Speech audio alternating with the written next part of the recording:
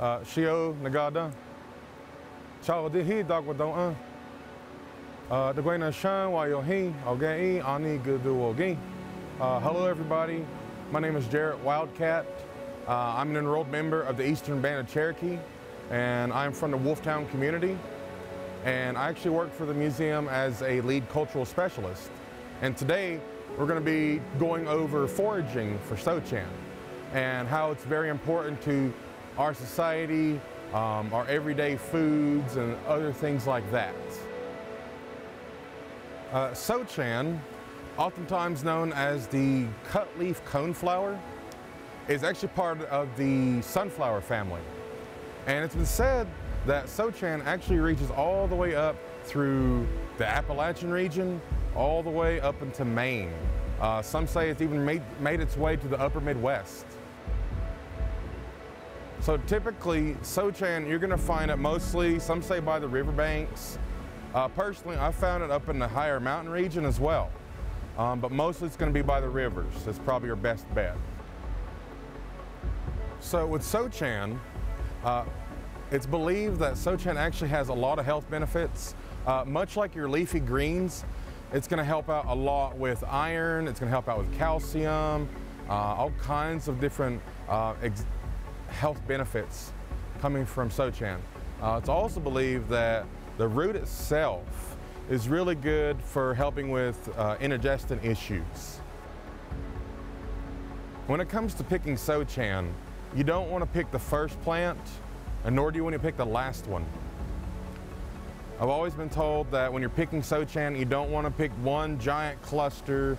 You want to actually kind of pick here, a little bit there, so that way you're helping make sure that those plants, the Sochan, will actually grow back in a good way the next season.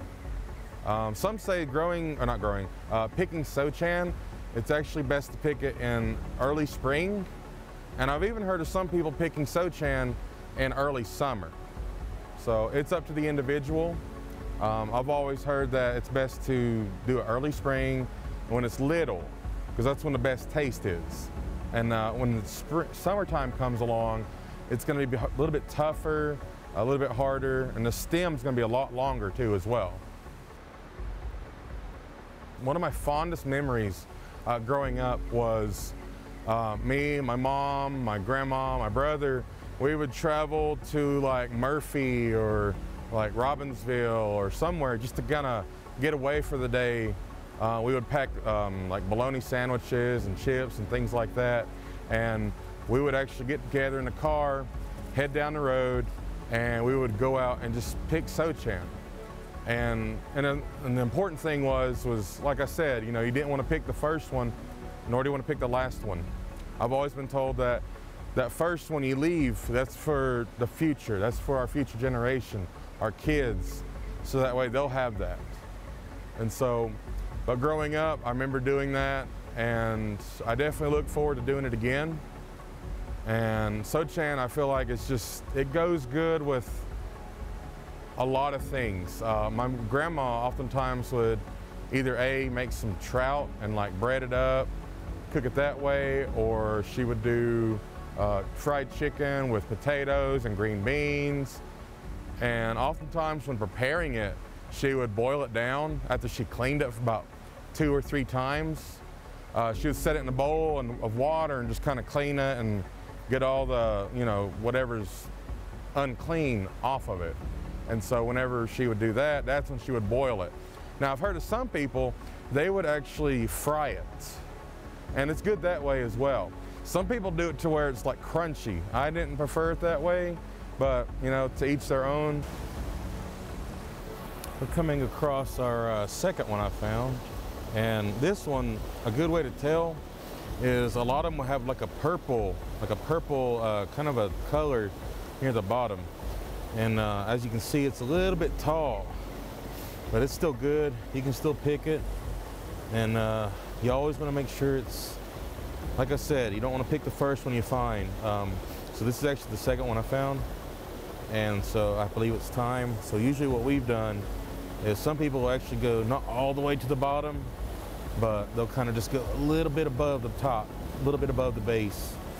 They'll pick it up And a good way to look at it is it's gonna have like jagged edges, pointy like. And so some people, they sniff it and it's got a good smell to it. And like, you know, I talked about how we prepare them, how we can eat them. And um, this is a good one right here. But yeah, always look for the jagged edge, kind of like pointy looking. And you got to be careful of everything else around it. Some of it's going to look kind of close to it. Um, but for me, the dead giveaways are the, the pointy part. It's kind of jagged on the way up. The leaves are.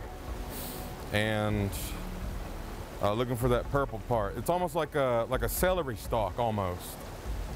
But that's usually what I look for. And that's usually what my grandma told me. With Sochan, in the language, we always I always knew it as so chana, so chana, and but then I've also heard from uh, uh, tribes out west, um, Cherokee Nation. I've heard them pronounce it as Kochan or uh, Kochu. So, but I always acknowledge the way they said it, and so you know it's cool though to think that you know to realize that the plants they kind of traveled, they made their way out there. So not only do we get this delicacy of a green leafy plant, they get it also. And so with that, I'm just thankful we have it. And also to educate those on how you're supposed to pick it, but also just making sure there's always enough for someone else. Because we are not, we do not own the land, we are only guests here. So we got to take care of the earth.